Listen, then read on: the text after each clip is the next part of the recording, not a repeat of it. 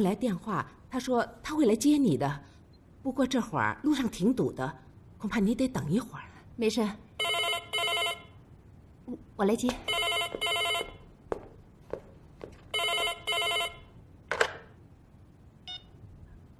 喂，是我啊，夏丽飞，我回上海了，我想见你，我想见你。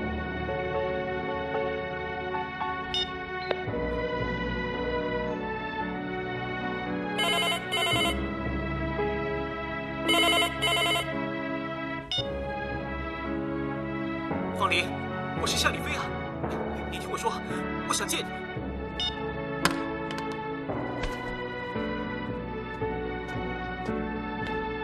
方小姐，喝点水。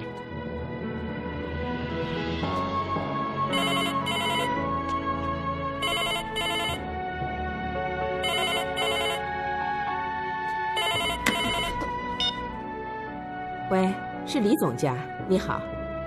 哦哦，好的，知道了。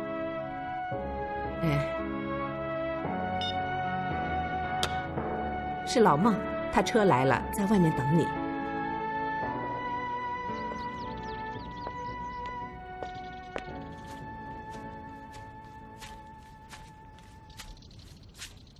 哥，呆坐着干嘛？我刚刚给他打了电话，方林，我跟他说我想见他。他跟你说了什么？他什么都没说，就把电话给挂了。你怎么会有他的电话？是李伟康给我的。今天我到他办公室找他，他不在。李伟康说，他身体不好，在家里休息。他对我出奇的热情。李伟康还主动的给我留下他家里的电话和地址。他好像希望我和方林快点见面。你说，他这么做到底是为了什么？应该不会，除非他有绝对的把握，你们俩不会旧情复燃。哥，其实我早就想告诉你，方林她不是生病了，她是怀孕了。怀孕？其实我以前也一直想追究方林她为什么会突然移情别恋。我想她会不会有什么苦衷？可是现在我觉得这些并不重要了，因为他们有孩子了，这足以说明他们有了一个幸福的家庭了。李伟康同意你们相见，恐怕是想要你见了方林之后，能对他彻底死心吧。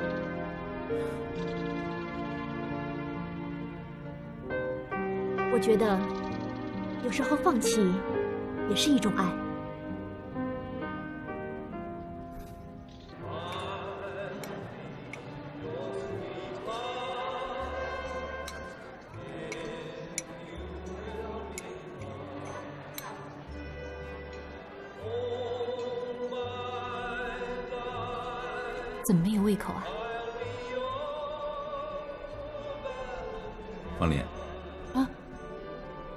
阿姨问你，今天是不是胃口不好？我出门前吃了点水果，肚子不饿。那可不行，你现在啊要吃双份儿。哎，要不我给你点个布丁？我猜你可能会喜欢吃甜食。真的不用了，我真的不饿。啊，这样吧，嗯，要不然我们待会儿一起去看电影，或者到滨江大道去散步，别一天到晚的待在家里。对不起，我去下洗手间。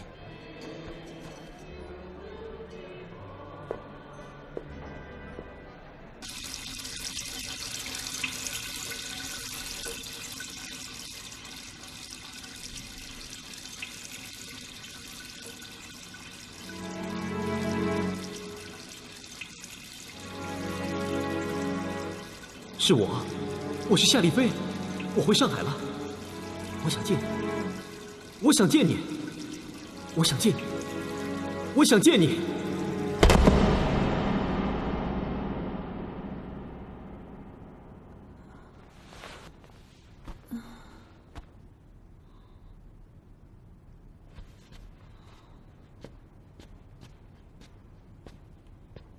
怎么样？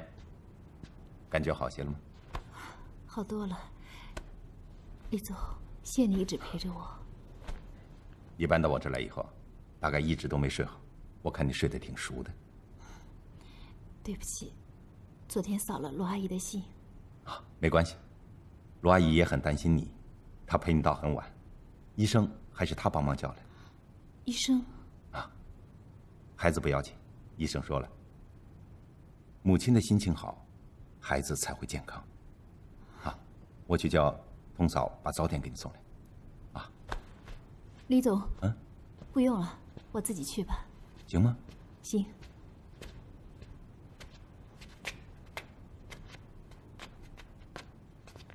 哎，方莲。嗯。有件事我想告诉你。昨天下午，丽飞到我公司来了。家里的电话号码是我给的。我觉得你还是见他一面。他是为了你才回来的，你躲是躲不了。哎，你是决定和他重新在一起也好，还是分开也好，你总要给他一个交代。在这个过程中，你不要考虑我，我是个局外人。我唯一的心愿。是希望你平平安安的、快快乐乐把孩子生下来。可是我觉得，你应该重新和他在一起，毕竟，他才是孩子的亲生父亲。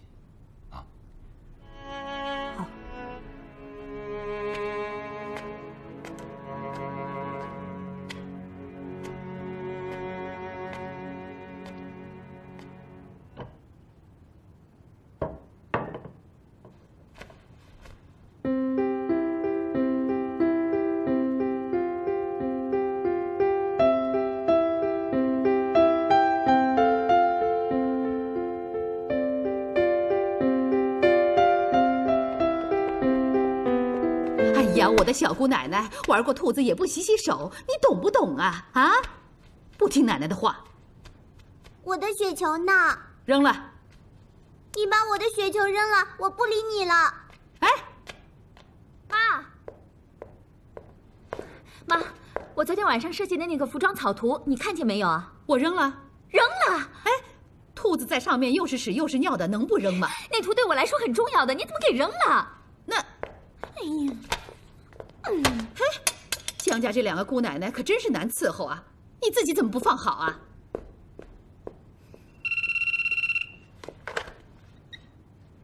喂，啊，呃，夏伯伯你好，啊，我最近挺好的啊。丽妃回来了，我还不知道啊。啊，再见，夏伯伯。丽妃回来了。是他爸爸打来的。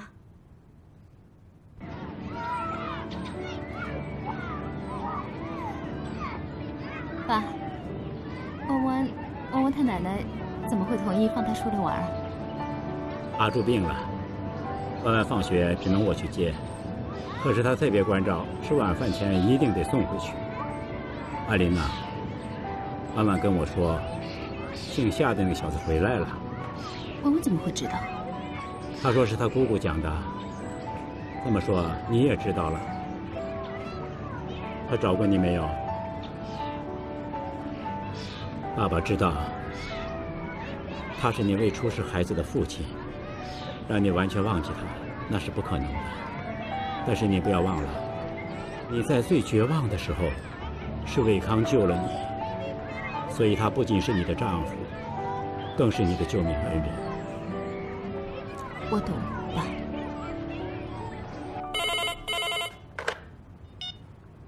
喂，李总家，你说。哦，好，请你等一下。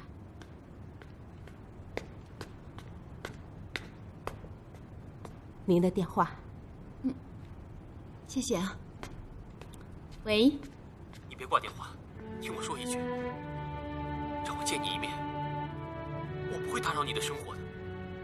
我只是想知道你过得好不好。如果你不想打扰我，就别再打电话来了。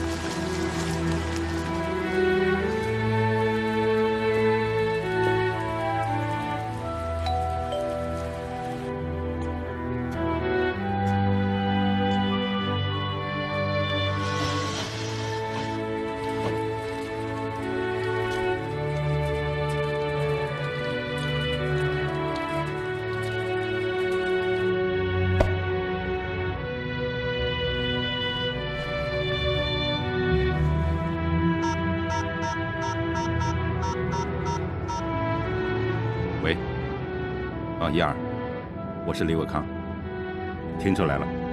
哎，今天晚上在家吗？我想过来一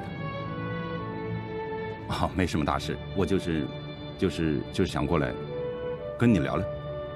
哼，嗨，啊，啊，一会儿见。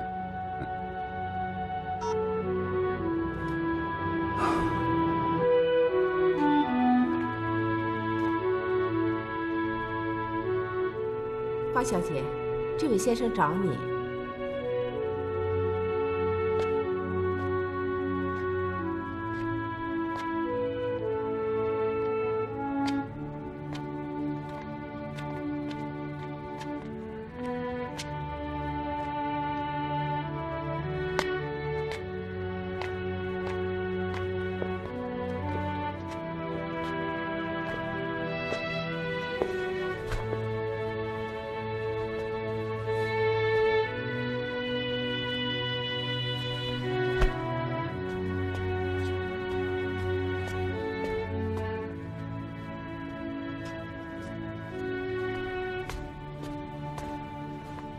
请喝咖啡，谢谢。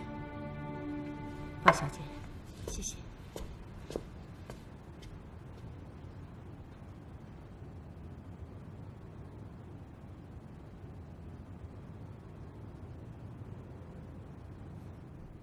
你一点也没有变。你现在坐的地方变了，人也不同了。方林，你肯让我进来，就说明你身上还有一部分是过去的你。现在你已经看到我了，我过得很好。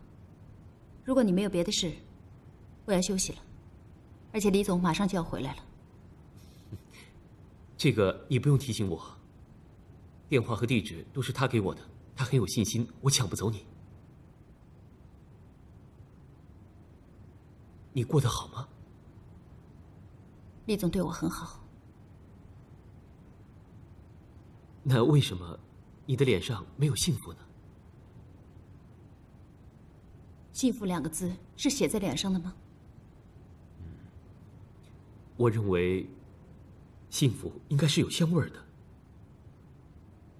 你是不是幸福，我应该能够闻得出来。为什么我从来没闻到过幸福的味道？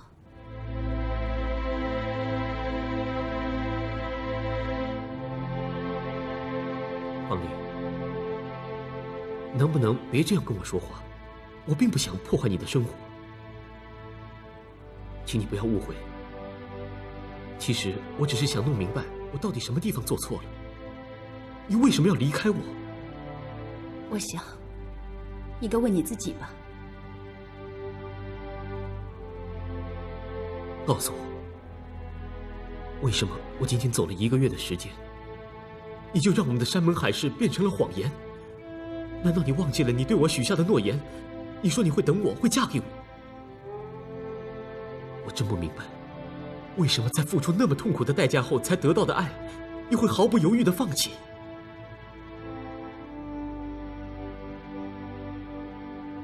为什么会是这样？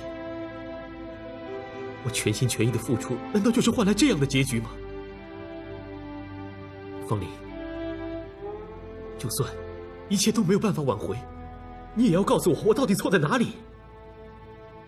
你没错，我只是觉得李总各方面都比你好，我就移情别恋了，就这么简单。我不信，你骗我，你不是这样的人。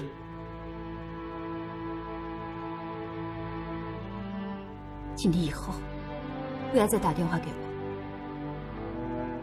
也不要再来找我，我们的关系就这么结束了。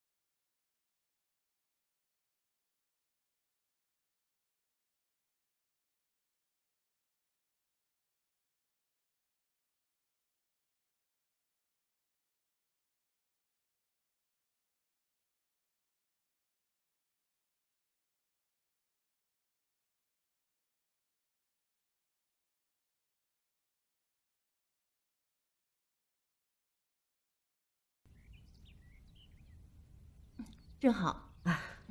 呃，童阿姨，李总还没睡醒吗？哎呀，昨天喝醉了，大概现在还在睡觉呢。醉了，醉得七倒八歪的，站都站不直啊。因为太晚了嘛，所以我就没有叫你。早。早。哎呀，哎呀，不早了，你要迟到了。嗯，是啊，我来不及了，早餐我不吃了。哎呦，那怎么行？我去帮你把早饭包上，你带到路上吃啊。别别别别，我去帮忙。方莲，你用早餐，别管我。嗯，童阿姨说你昨天喝醉了，是多喝了一点点。她说你站都站不稳了。哎呀，童嫂说话太夸张了，其实没那么严重，你不用在意。都是我做的不好，让你操心了。哎呦，你想到哪儿去了？昨天晚上我和罗燕在一起，聊天聊得高兴，就多喝了几杯，跟你没关系，不要多想啊。我走了。李总。嗯。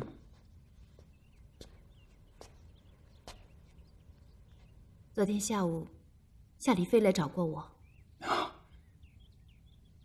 我已经表明了立场。我会彻底抛去过去，快快乐乐的把宝宝生下来。好，我走了。啊。哦，这是我送你的礼物。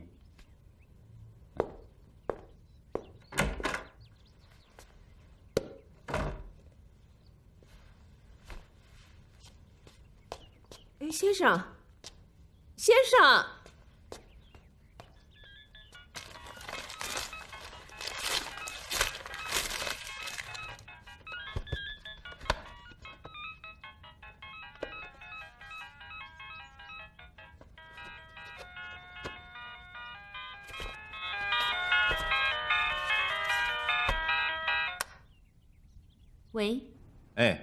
方林啊，哎，呃，根据你现在的情况，你需要一部手机，可以方便我们联系，所以我就买了送给你。这样呢，你一个人出门的话，我就不会担心了。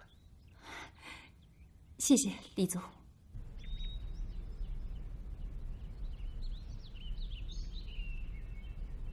流动车实施以来啊，这两个星期效果比较明显，销售额有了明显上升。好多商家主动上门，要求供货事宜，对我们今后开拓市场有了明显的提高。董事长，我汇报完了。喝酒的时候我们不是上下级，我们是好朋友，你要叫我的名字。李飞，我想问问你，最近我们成绩不错，你为什么不高兴啊？我哪有不高兴啊？就是因为高兴，所以才请你出来喝酒的。来，干杯！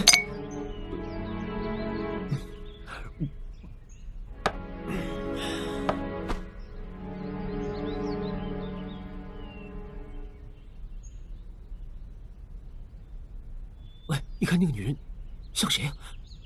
啊？像谁啊？像方林。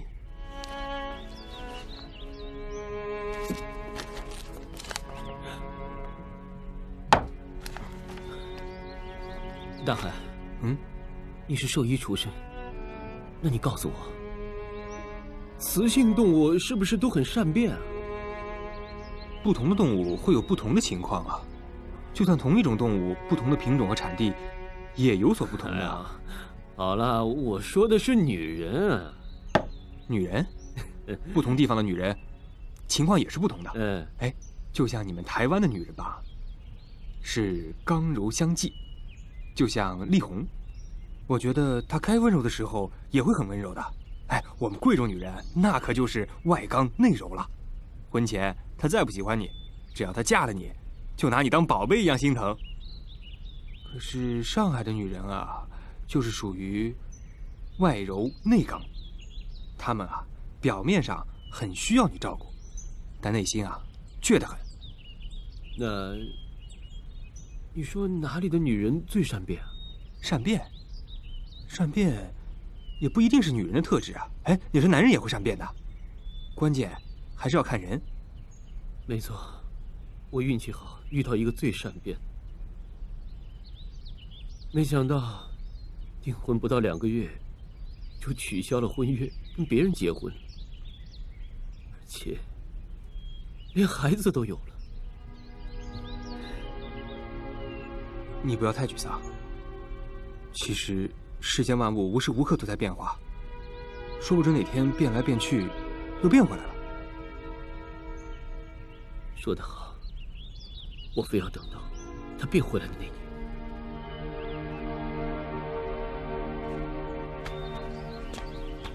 哎，哎，丽妃，我不是那个意思啊。其实我的意思是，我买了一辆新的摩托车，咱们去兜风啊！啊，真的？我不会有事的。那我去付钱啊。呃，你在这儿等着。嗯，啊，不错。啊。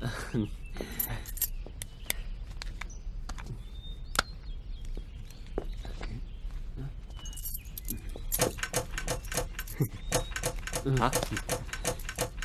哎，李飞，不是这个啊，那个呢？呃，哟，哎，是这个。我来，我来，拿着啊。来，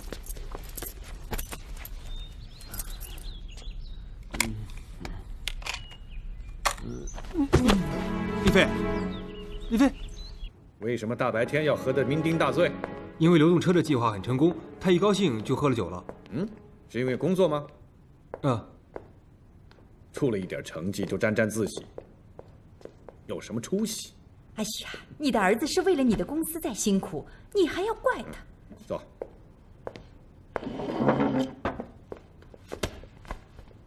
听说那个流动车的计划是你做的？啊，我只是提了一个想法，还是靠大家努力。李飞一上任，就提你为副经理。看得出他很信任你啊，你要好好帮他，啊，嗯，好。最近你和丽红怎么样？挺好的，好好照顾她，我不会亏待你。哎，好了，没事了，上班去吧。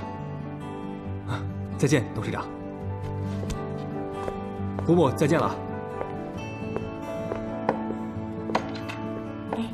你同意他和丽红交往了？看这个小子最近工作的表现还是挺出色的。丽飞刚刚接任公司，很需要这样的帮手。丽红年纪也不小了，如果她能嫁给一个对公司有用的人，我还是可以考虑的。我们家这对儿女的婚事儿，怎么就那么不顺呢？是不是我们干涉的太多？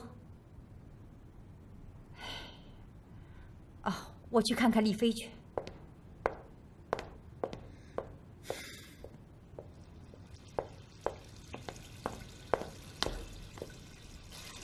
啊，怎么了，丽妃？要紧吗？我是不是又变了？是的，你变了，你变得让妈伤心了。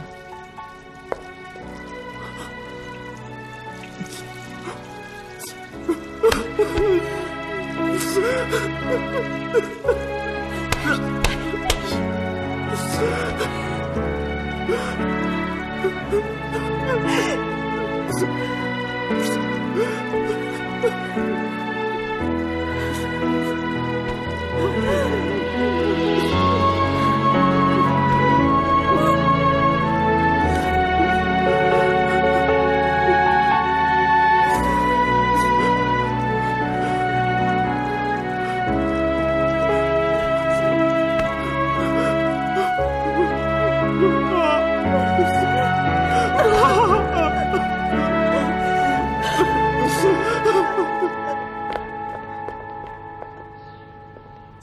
爸爸跟你说了些什么？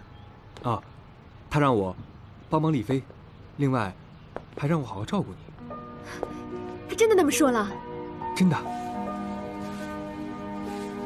那就是说他承认我们了？我也这么想，应该是吧。天哪，你怎么那么镇定啊？你应该很高兴才是啊。来的太突然了，我一点准备都没有，好像是在做梦一样。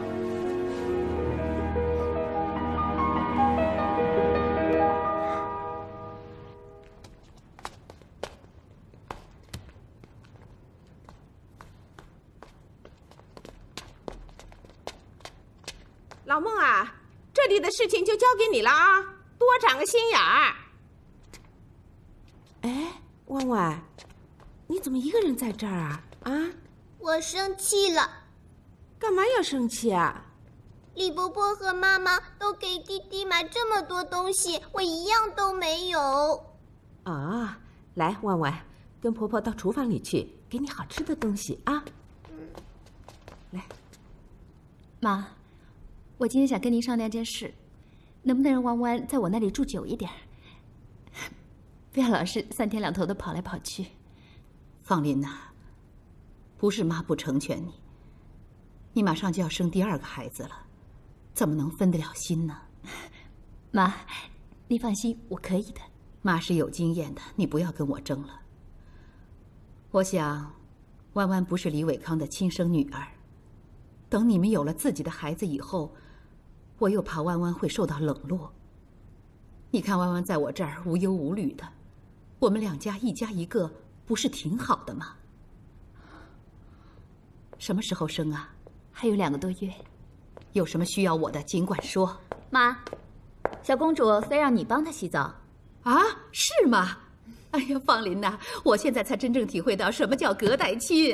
来来来，你陪方林聊天，我给弯弯洗澡去。小弯弯在哪儿啊？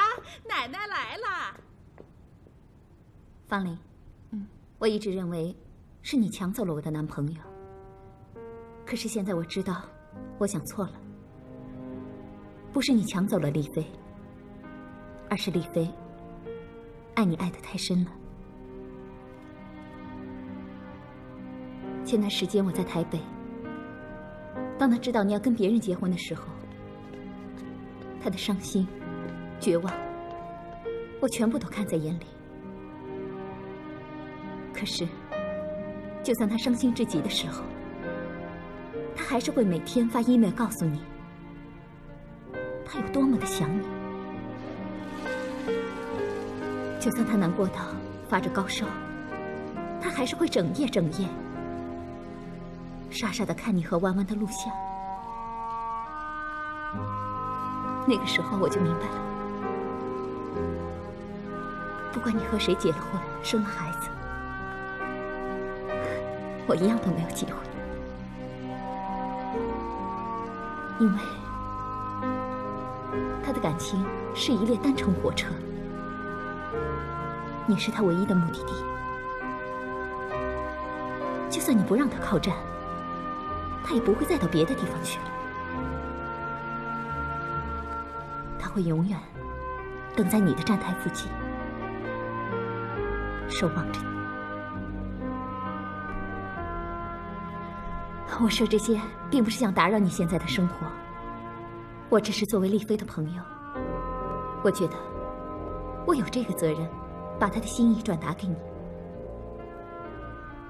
这也是我唯一。可以为他做的事情。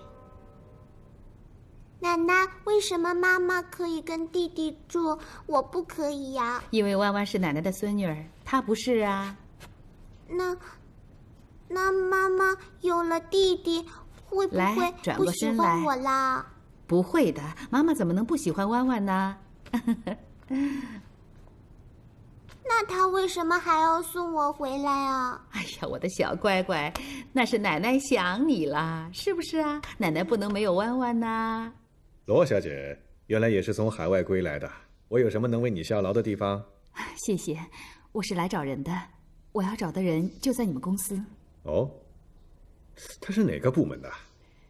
听说是在你们公司当兽医的。兽医？哦。我们最近倒是来了几个新的兽医，他叫什么名字啊？叫罗康南。罗康南。哦，牧场是我女儿在管，也许她知道。丽红啊，爸爸，你找我啊？这位是日本来的罗阿姨。罗阿姨好，你好。我们牧场有没有一个新来的兽医叫罗康南的？嗯，没有。哦，对了，他小名叫小康，今年二十三岁。二十三岁倒有，不过小康没有。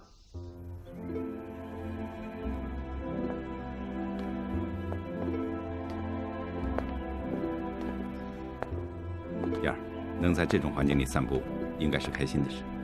你有什么心事吗？找不到我要找的人。你不是说已经确认了很小的范围？是啊，好不容易确认了最后三家乳品公司的牧场，我都一一去拜访了，可都说没这个人。别泄气，皇天不负有心人，往往是好事多磨。我相信你一定能找到的。要不然，把这找人的任务交给我。我看你最近倒是挺有精神的，是不是因为方林就要生了？还有两个月，不过我是有点兴奋。你看，这可是我第一次体验做父亲的感觉。啊，当然了，我跟他是没有血缘关系的，可是我毕竟陪了他这么长时间，应该有做父亲的感觉了。你是不是很想要个孩子？当然想。可是，对于一个年过五十的男人来说，这种想法是太过奢侈了。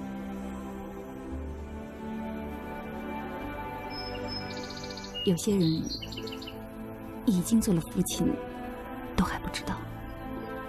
当然有，喏，像夏丽菲就是这样。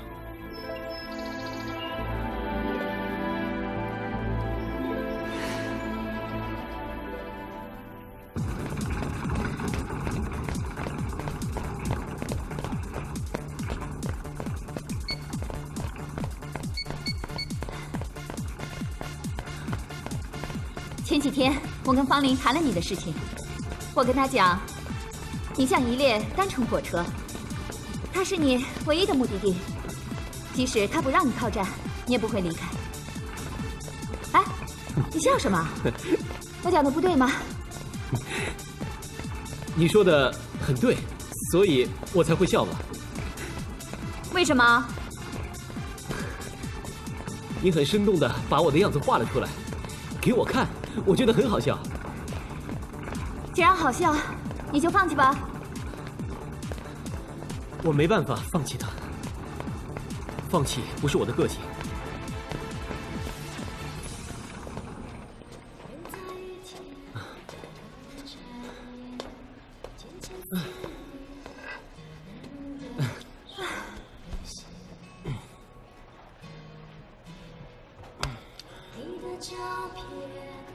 你是不是见过他了？我是见过他了，可是他很冷漠的告诉我，因为李伟康的条件比我好，所以他就移情别恋了。他还说他讨厌我，让我不要打扰他。我跟他讲的时候，他好像也没什么反应啊。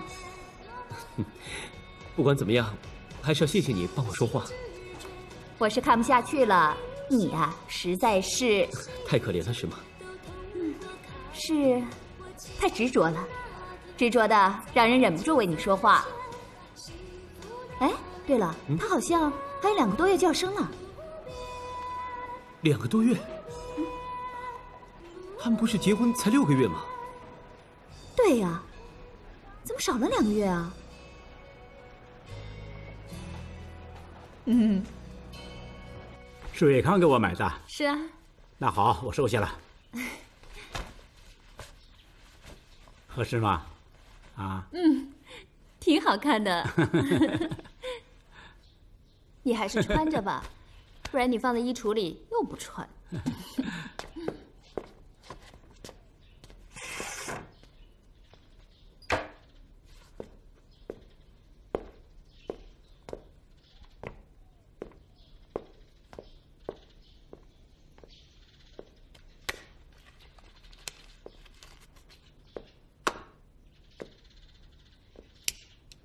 阿林，医生怎么说呀？医生说，宝宝的心脏还是有问题。别担心，那仪器不准的，测男孩还是女孩，不是老搞错呀。哎，那么小的一个胎儿，心脏有没有问题，能搞得清楚啊？我也希望是仪器错了。肯定是他们错了。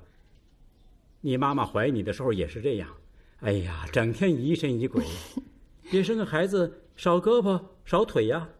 好，好不容易的健健康康的把你生下来了，又担心什么时候会走路啊，什么时候会说话呀。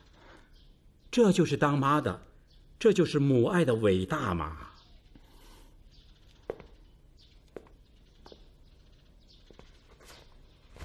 阿林呐，这是你妈妈留下来的一块古玉。虽说也值不了几个钱，可是他能保佑你们母子俩平平安安的啊。给你吧。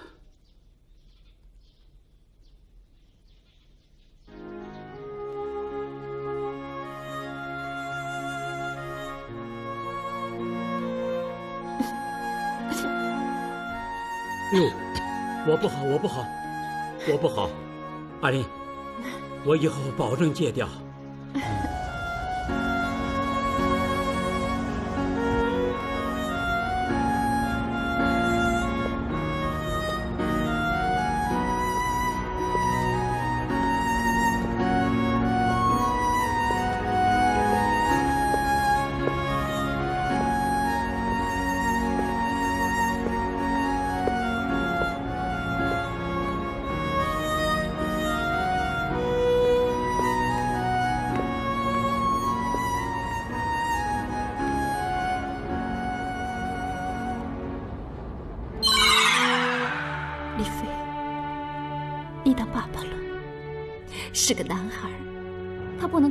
在一起，可是他弟弟却能跟妈妈一起住，他一定会想不通的。